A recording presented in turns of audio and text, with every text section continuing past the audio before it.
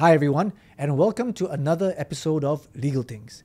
Today, we're talking about how to write a cease and desist letter in Singapore. What exactly is a cease and desist letter, and when would you use it? This letter is a written demand to stop an illegal or harmful activity, and it is used as a first step in resolving a legal dispute before taking more formal legal action, such as filing a lawsuit.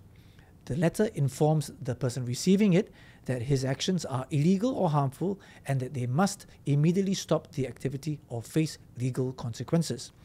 Cease and desist letters are commonly used in situations including harassment, debt collection, copyright infringement, and trademark infringement. And it's a way for the recipient to resolve the issue without having to go through the time or expense of a lawsuit and the letter can serve as evidence of the recipient's knowledge of the illegal or harmful activity if the dispute later proceeds to court.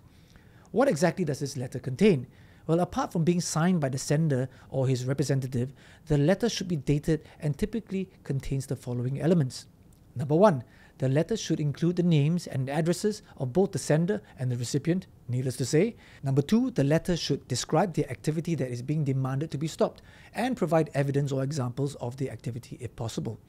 Number three, it should also clearly state the demand that the recipient stop the illegal or harmful activity immediately and permanently. Number four, the letter should also warn the recipient of the potential legal consequences of failing to comply with the demand, including potential lawsuits and damages. It's important to remember that these cease and desist letters should be drafted carefully because they can have legal consequences and can be used as evidence in court.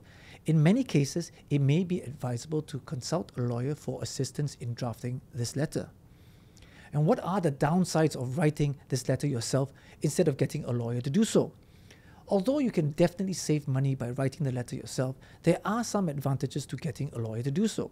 For example, Lawyers have expertise in the law and can ensure that the letter is legally sound, including all necessary elements and language, reducing the risk of it later being challenged in court.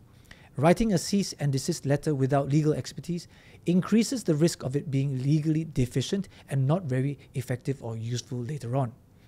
Also, receiving a cease and desist letter from a lawyer tends to carry more weight compared to a self written letter and can be seen as more credible, increasing the likelihood of the recipient complying with your demand. So, now you know. If you've enjoyed listening to this and would like to hear more, subscribe wherever you like to listen to podcasts and follow me on TikTok and Instagram. And remember, it's not rocket science, it's just Legal Tings.